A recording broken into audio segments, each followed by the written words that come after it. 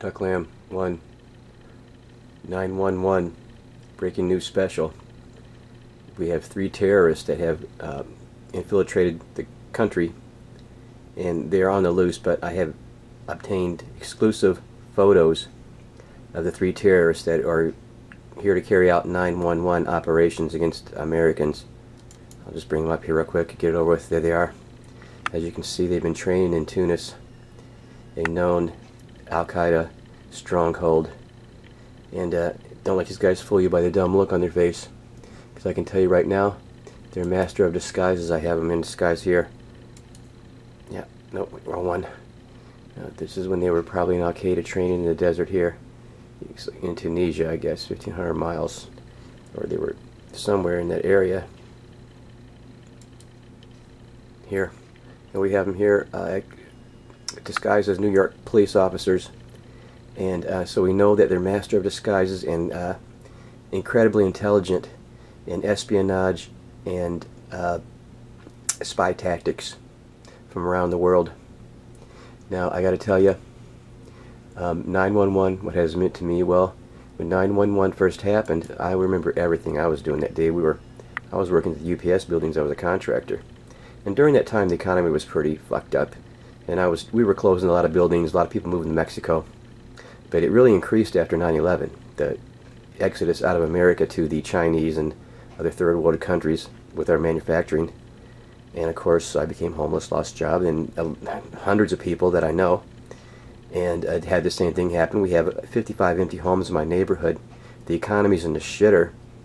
George Bush robbed the Social Security of 2.3 trillion to pay for some wars, and nobody ever paid that back. They thought the wars would somehow pay for themselves. But they're asking for more money for more war, and the battle cry 10 years later is, well, the battle cry. We're either with Obama or we're against Obama. Now, not everybody did horrible during these wars. A lot of people did really well. And if if you had investments, especially war investments, and if you had inside information, especially of how many wars, how many missiles and all that we're going to be buying, which company's going to be producing them, you made a million dollars. Yep. Some people made out during the wars here. Some people made tons of money. This is the gang leader here. He made the most, and he took the two trillion from the uh, from the uh, Social Security fund, of course. And then, you know, some people just made out like bandits, evil people people that it's hard to believe that this just wasn't constructed somehow. The, I mean, the very people that caused it made out like bandits. And look, the economy's in the shitter. And I'm telling you, it's not going to get any better. The entire world is exploding. Now, I don't know, and we've lost rights. Let's see, we've lost our freedom of speech, a lot of it. We've lost, we're really scrutinized on our freedom to bear arms. Our Fourth Amendment, the freedom of privacy. Of course, we have cameras freaking everywhere. I mean, you can't go anywhere without, without having a camera and some TSA guy breathing down your throat, ready to stick his arm up your ass. You know something? Um, these wars aren't about freedom. These wars are about making money. And um, this 9/11 thing, I got to tell you, it's hard to believe that um, that it could be some kind of big conspiracy, but you really have to watch this guy, Anonymous Truther, too.